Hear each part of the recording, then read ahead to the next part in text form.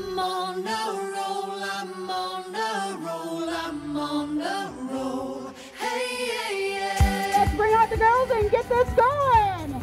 In the St. Germain Bikini Run. Such an endearing cause for people. The bikini run really gets the crowd out and gets the crowd here, um, gets everybody really excited. I'm on a roll.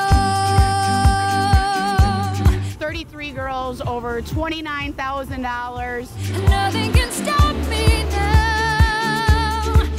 We're supporting Pink Ribbon Riders. The money stays locally here in Wisconsin to help the families.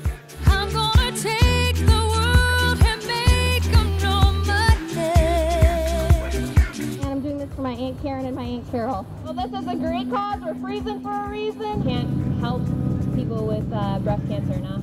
Awesome. Give it up for Aunt Carol and Aunt. Good opportunity, and it's for a great cause. They're gonna see. Girls out here in their bikinis and thousands and thousands of spectators watching them. Everybody expects this risky edge. It's a, it's a great event that, you know, the girls just get a little cold. How's it going today? Great, I'm really warm. She's awesome. She's feeling warm. She's mentally prepared. Something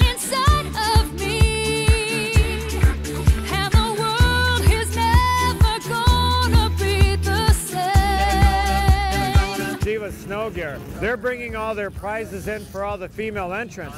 They have been spectacular. Uh, we cannot thank them enough. They have donated so many gifts to the girls. Um, they have just supported us in getting our name out there and stepping us through it.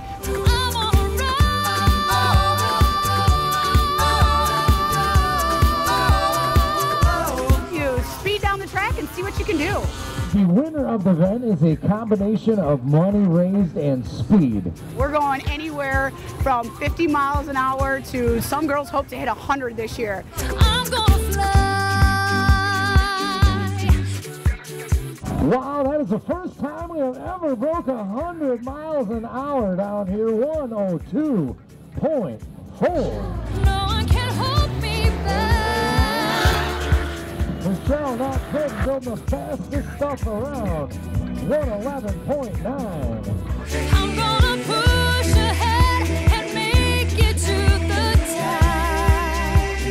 The cause itself is the main point of this entire event. So, and to get this, the people here to learn more about the cause. If you would have asked me six years ago when I started this and ran in it with four other girls, where we would be today, I would never imagine how much this grew and how amazing this event has become. Just blows us out of the water, and it just really means a lot to so many people. It's just such an endearing cause for people.